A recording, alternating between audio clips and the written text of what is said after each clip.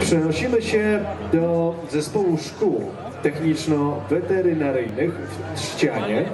Trudne słowo, przyznacie Państwo, ale myślę, że warto, drodzy Państwo, nawet e, nieco ten język wyćwiczyć, wyprawidłowo ich przedstawić, tym bardziej, że to, co przygotowali, także myślę, że będzie dla Państwa zaskakujące, miłe. To, proszę Państwa, jak widzicie, ta parada i te kolejne pokazy składają się z choreografii, z tańca, z muzyki, z tego wszystkiego, co budzi naszą wyobraźnię. A kolejny pokaz nosi tytuł Narodziny Mistrza. Mam nadzieję, że jesteście Państwo gotowi w trakcie tego pierwszego dnia, tej 17 edycji Festiwalu Fryzjerskiego Herfer. Kolejny pokaz. Już w tym momencie, Panie, Panowie, zaczynamy i zapraszam na te narodziny Mistrza. Tradycyjnie proszę od Państwa o brawa. Dziękuję i przenosimy się w ten świat wyobraźni.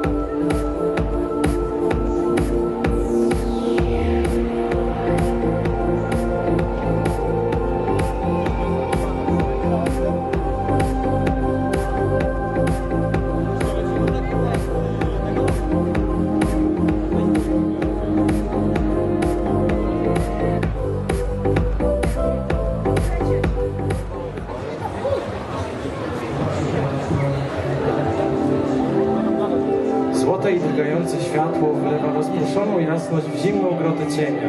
Tak słabe, jak dziecko śpiące w małym wiejskim łóżku, pachnącym jeszcze żywicą pobliskiego lasu. To światło dodaje tajemniczości sekretom odpoczywa małe stworzenie, równe w prawach i zaletach wszystkim innym stworzeniom, bo jest samo dla siebie całym światem. Śni, przypomina sobie z pewnością inne życie, uśmiecha się do złotych aniołów, otwiera oczy, jego sen trwa. W tym momencie jego sen staje się niespokojny. Widzi, jak chwyta go potwór. Upadek mógłby się skończyć dla niego fatalnie. Zamknął oczy. Ale młody Bóg, upadający, czuje się podtrzymywany przez mocne ramiona chroniące go przed roztrzaskaniem sobie czaszki i ostre kamienie. Anioł musiał przyjść mu na ratunek. Przytula się do szerokiej piersi. Nie śmie otworzyć oczu, taką odczuwa przyjemność, czując się tulony. Prawie mdleje ze szczęścia. Za jeszcze drga w kąciku oka jak kropla rosy na płatku głowu. Już się nie buntuje, już się nie boi. Uśmiecha się ufnie do swego wybawcy, to piękny, młody człowiek o ciemnych oczach, który jest tak niezależny jak on sam, lecz tak czuły, tak wzruszający w swej sile. Dziecko całuje go żarliwie.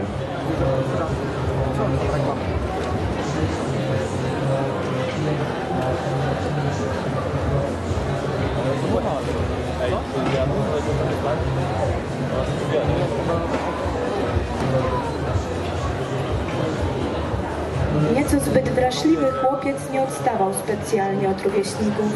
Nie izolował się, przeciwnie. Chętnie uczestniczył we wszystkich zabawach na podwórku.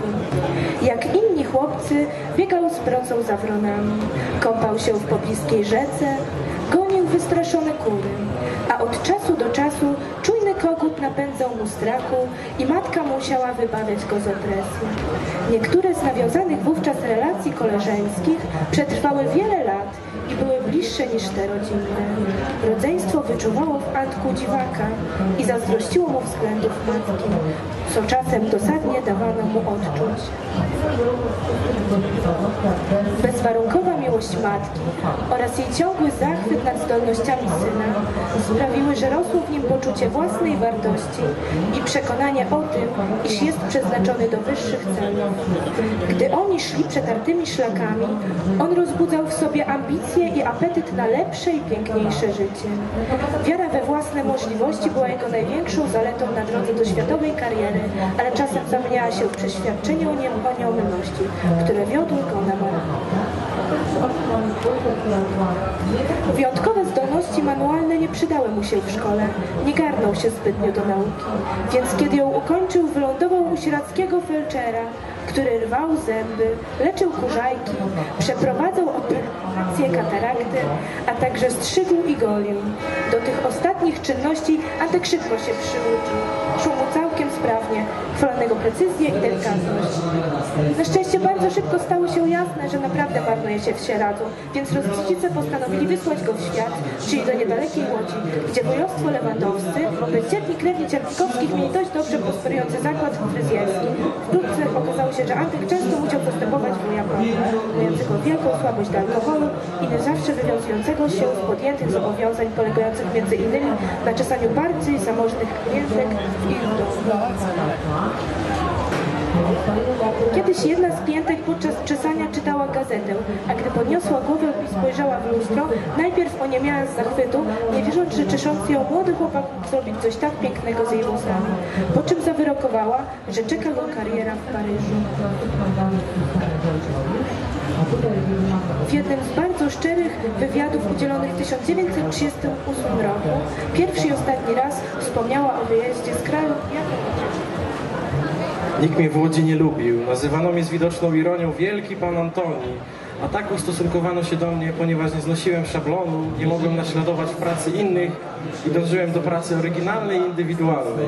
Zazdrościli mi koledzy, wyśmiewali moje starania i wysiłki, drwili z moich pomysłów, zdaniem ich ekstrawagancki. Pracowałem wówczas przy zbiegu ulic Piotrkowskiej i Cegielnianej, a marzyłem o tym, aby móc utworzyć sobie własne przedsiębiorstwo i dokonywać eksperymentów, na które mi żaden szef nie pozwalał. To były jednak mrzonki, których nie udało się realizować bez grosza w kieszeni, bez czyjejkolwiek pomocy i bez zrozumienia ludzi. Wierzyłem mimo to, że nadejdzie kiedyś dzień, gdy spełnią się moje życzenia i tęsknoty. Nie zrażały mnie uszczypliwości kolegów, drwiny pracodawców nie osłabiały moich nadziei. Aż nadeszła chwila, kiedy dziewiętnastoletni praktykant fryzjerski rodem z Sieradza opuścił Łódź na zawsze. Uciekłem z zadymionego i dusznego miasta, uciekłem z kraju ojczystego, daleko w świat, do Paryża.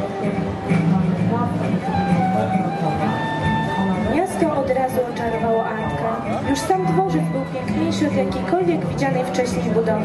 Patrzył ze zdumieniem na szerokie perony, rzeczywiście oświetlone i pełne ludzi. To, co ofiarowywał mu Paryż jako obserwatorowi, było niezwykle obiecujące. Pokochał miasto, które z czasem okazało się jego przeznaczeniem. Miłością od pierwszego wejrzenia. Miałem dziwne wrażenie bycia w domu. Ludzie z różnych zakątków świata odczuwali to samo, kiedy tylko przybyli do Paryża. I nikt nie był w stanie wytłumaczyć mi, dlaczego tak się czuliśmy. Antyk chciał przede wszystkim pracować i doskonalić swoje umiejętności. Podpowiedziano mu, żeby spróbował szczęścia u DQ, w bardzo znanym zakładzie, którego właściciel był cenionym i szanowanym w branży fryzjerem specjalistą od peruk i tresek z prawdziwych włosów. Monsieur DQ, jak wówczas wszyscy jego koledzy z paryskiego cechu fryzjerów, trzymał się ściśle zasad przyuczania do zawodu. Należało zacząć od samego dołu. Antoine z właściwą sobie egzaltacją wspominał później ten okres jako prawdziwą katorgę. Zła passa zawodowa skończyła się nagle 25 listopada 1903 roku. Paryżu odbywało się popularne święto, tak zwane Katarzynki, ku czci patronki młodych i niezamężnych dziewcząt, świętej Katarzyny. W stolicy była to przede wszystkim święto robotnic, zwanych minietkami, pracujących w zakładach krawieckich i kapeluszniczych. Na tę specjalną okazję każda dziewczyna musiała mieć piękną fryzurę, ozdobione jak najbardziej wymyślnym kapeluszem. Oryginalne fryzowanie miało dopomóc w szybkim zamąż pójściu. Zakład pana Deku, mieszczący się w samym centrum Paryża, przeżywał prawdziwe oblężenie i Antoine został wezwany, aby pomagać w przyczeszaniu coraz bardziej zniecierplonych klientek. Po jakimś czasie po raz kolejny dostał swoją szansę, gdy Lily de Moule, romansująca z belgijskim księciem Deli, e, zapodziała gdzieś wśród bagaży pudło ze swoim wieczornym Antoni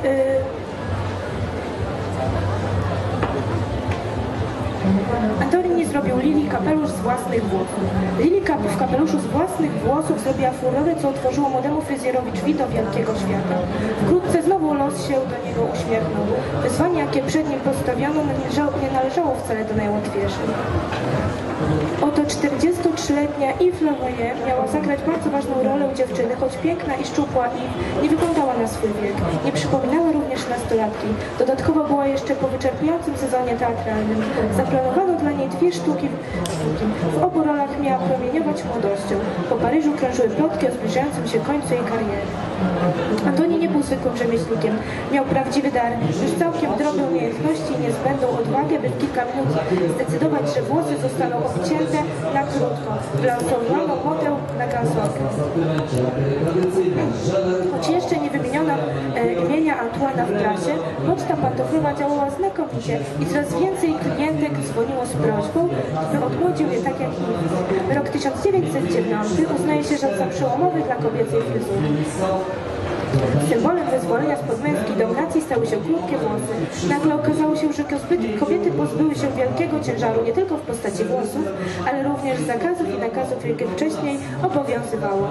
Coco Chanel wspomogła rewolucję zapoczątkowaną przez Antoana. Zaprojektowała wygodne ubrania. Nadszedł koniec korsetów krępujących ruchy.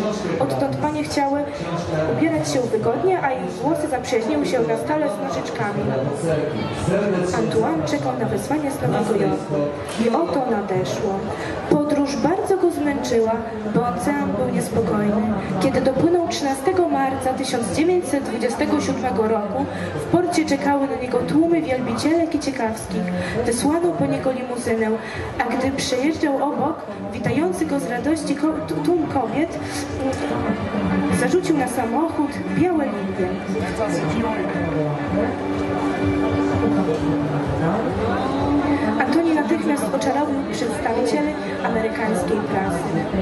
Odrobinę zainteresowania wystarczyło, by zrodziło się w jego głowie kolejny ekstrawagancki, wręcz szalony pomysł o powrocie do Sieradza. Przez 70 lat jego domem był Paryż, miasto, które dało mu wszystko. Uczyniło, uczyniło go sławnym na cały świat. Był Antuanem z Paryża i Paryż nie wybaczył mu, że wolał stać się znowu Antkiem z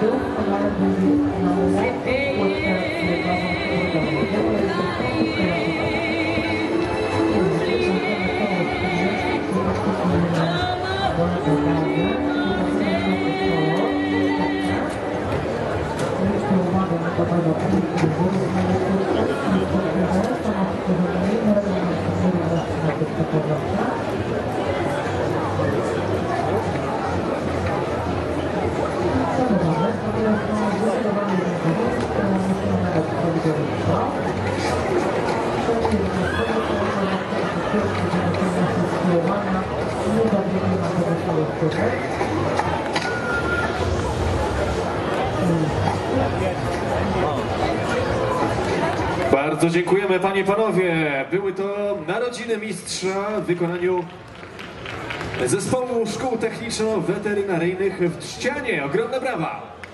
Prosimy jeszcze raz wszystkich uczniów. Mam nadzieję, że zechcą się jeszcze pokazać nam na scenie. O tak, śmiało, prosimy was. Prosimy raz jeszcze o aplauz, o brawa. Piękna scenizacja. Drodzy Państwo, mamy oczywiście tradycyjnie także i dyplom, i wyróżnienia, które chcielibyśmy przekazać. Natomiast ja bym bardzo prosił osobę prowadzącą. Niestety nie zdołałem.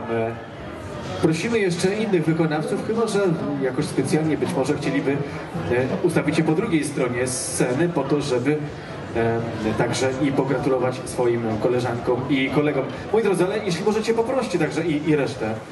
Możecie zajrzeć z tyłu za zaplecze i poprosić o to, żeby do nas przyszli. I prosimy także osobę prowadzącą, prowadzącą odpowiedzialną za tę piękną inscenizację. Tutaj taki piękny chaos nam się artystyczny zakradł, ale chaosie, drodzy Państwo, często jest także i siła. Moi drodzy, jakoś tak się krępujecie, więc wezmę Was za rękę. Chodźcie, chodźcie wszyscy. Też proszę Was tutaj na środek. Moi drodzy, pozwólcie, poproszę was o pomoc, osoba prowadząca. Imię i nazwisko i bardzo proszę, żebyście wywołali. Pani magister Bożena Wilczek. Pani Bożena Wilczek. Pani Bożena Wilczek, prosimy w takim razie także. Nie, nie, nie, ale nie, drodzy Państwo, spokojnie. Przed chwilą, bo tu widzę, że jesteście Państwo już tak spragnieni występu, a ja prosiłem jeszcze na rodzinę mistrza o to, żebyście zaprezentowali i odebrali swój dyplom. A tu już widzę, że jesteście Państwo e, z Piekar Śląskich tak spragnieni. Spokojnie, Pani Bożeno, my za chwilę, za chwilę jeszcze do tego przejdziemy. Jeszcze nie teraz. Za chwilę poprosimy Was o brawa, wróćcie w takim razie spokojnie na swoje miejsca. A ja jeszcze raz przypominam, że cały czas poluję i proszę o, e, no właśnie, narodziny mistrza Zespół Szkół Techniczno-Weterynaryjnych w Trzcianie, który przed chwilą przecież zakończył swój pokaz.